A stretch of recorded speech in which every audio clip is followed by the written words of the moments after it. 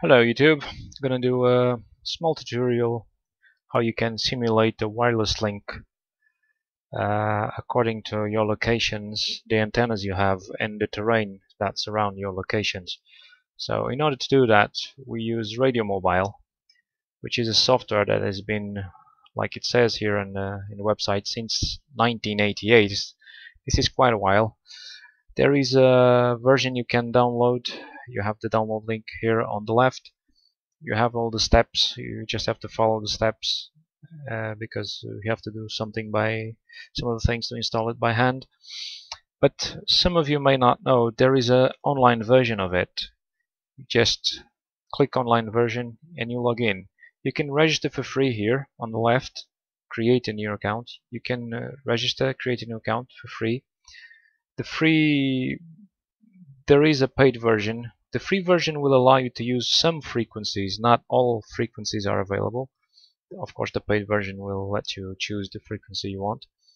But the free version, uh, it's a bit limited in the frequencies. Other than that, everything else is uh, is available and uh, you can use it. I already logged in into the um, into the software. I'm just going to show it here in uh, another tab. Just going to close this one. So this is the looks of it. Pardon me. You have the um, these buttons. When you want to navigate, I'm just gonna press a button here. Don't press the back button because this will leave the software. This will go to the initial page of Radio Mobile. If you want to go, if you want to go back, always use the back button or the cancel, if that's the case. When you navigate on this on these menus. So what we're going to do, we're going to create two sites. Two sites are two locations, two places where you have your antennas and your radios. And uh, then you, we're going to create a new link. A new link is, is the link itself between those two sites. And when you create the new link, this is a place where you choose the um, transmit power, the antenna type, the gain of the antennas, the cable loss, the radio sensitivity, this is where you choose all those settings. And uh, there's some other features here. I might uh, talk about them in uh, future tutorials.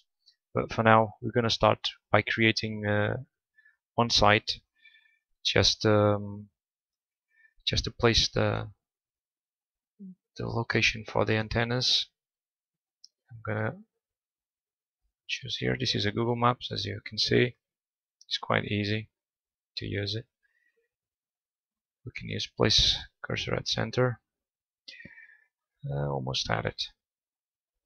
Change the satellite so I can see the exact location. Okay where are we? We're right about over here and this is the spot. Yeah okay. Once you have your spot you can drag it around. Once you have your location you can leave it and uh, submit He's going to show you the coordinates of that location. This is the name. I'm going to call it site site A. And uh, you have the altitude of that site. You can add a description and create a group. I'm not going to do that now, just going to add it. This is one site. I'm going to create a new site. It's going to do the, going to do the same thing again. And another good place to do another link. Once again I have to put in satellite to look at the terrain because I recognize the locations better if I look at satellite. Okay where are we? Hmm. let me see if I can find that location Okay, here is. Yeah, it's right here.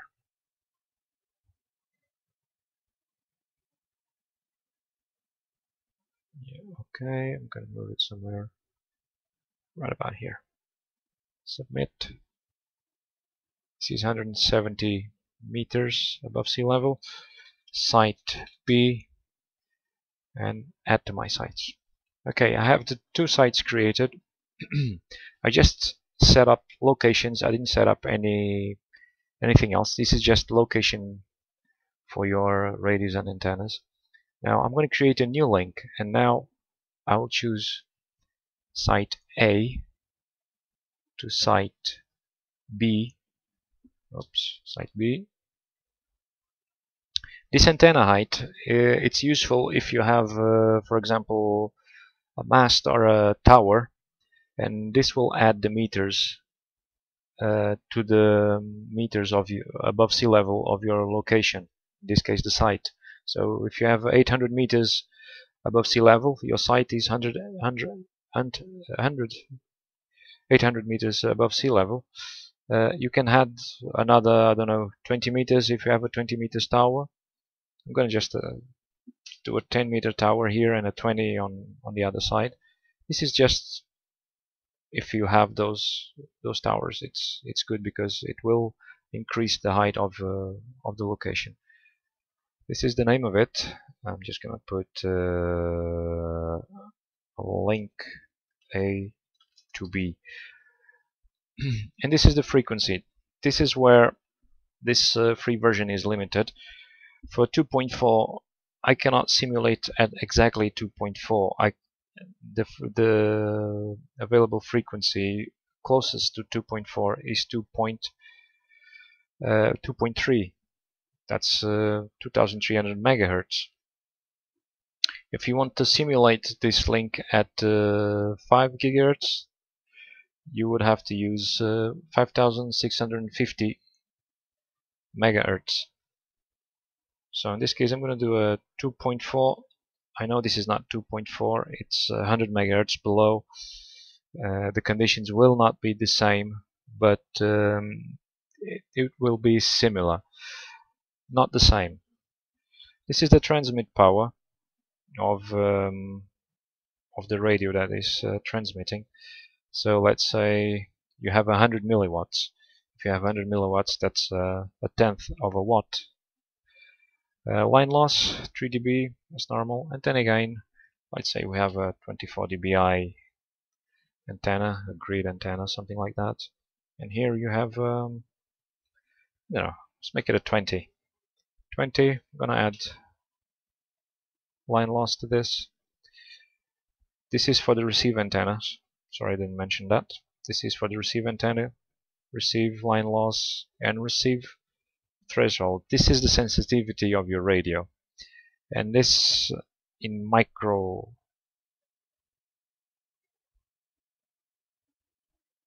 micro microvolts I think um, it doesn't give you in uh, minus dBm it gives you in this uh, different different values so here usually you have to adjust I know that this will give me minus, uh, 113 this value. I don't remember right now what's what values I usually use to get around minus 92 um, but just to have an idea this this is set at minus 113 this is the required reliability 70% you want when you simulate your link you can have um, you want to have at least 70% of reliability on the, on this link. So you have our locations, antenna height. This is the description, the frequency, transmit power, line losses of uh, transmit and receive, the antenna gains, transmit and receive, sensitivity, and reliability. Just submit. It's gonna do a, a processing and here we are. So this is like the report of the link. We have the latitude all those things we already knew before. Um, new things we don't have. Okay. Azimuth. I'm going to show you the, the map below. Azimuth. Azimuth of site A which is this one is the is like the aiming direction you have to aim your antenna to reach the other the other site. So this this is like the the main thing to aim the antennas. You know the azimuth of your of your locations. So in this case, to to make site A to link with site B, at site A you have you have to point your antenna to the azimuth 223, which is here. And on the other hand, if you're in site B, the azimuth to, to reach site A is 43 degrees. So this is uh, this is the way I I usually aim my antennas. Uh, you just get a compass uh, with the degrees and uh, and more or less uh, usually I stand behind the antenna and aim it the, to the right azimuth. Here you, you also have the tilt. The tilt is a bit more difficult to aim by hand to have a correct tilt because you need something with the with the, the, the degrees uh, in vertical. It's not impossible, but uh, it's a bit harder to make sure that the antenna is tilted to this exact uh, degrees. Other things, let's see what we have here. We have information about the, the loss of the free space, um, according to the terrain, if there's forests, there's urban, uh, there's some uh, information about the losses over here. And uh, about our radio, we have the 20 dBm, this is the 100 milliwatts, the line losses, the gains, the sensitivity, I told you was minus 113. Uh, I don't have any Wi-Fi radio that can do this or has this sensitivity. And down at the bottom, the good or the bad numbers. we have the distance of the link. This is the precision, the frequency, the watts. This is the power irradiated from your radio uh, with that specific antenna. In this case, we use the 24 dBi antenna. System gain, required real reliability, and this receive signal. And here you can see this with the these radios, these antennas, my receiving signal at site B would be minus 74 dBms. And this is fairly fairly good enough signal. This is very good. So this means that this link can be done because it has minus 74 dBm at uh, at site B um, usually here this is fade margin. This fade margin is uh, in my case is wrong because my radio it's uh, doesn't have this sensitivity. This is usually the difference between this and this. So let's say my radio was minus, uh, minus 90 if it was minus 90 the the difference would be 16 16 dBm. This is like uh, the margin of signal that you have uh, available until the, the link is broken down. So the better the margin, the, the bigger the margin, the better.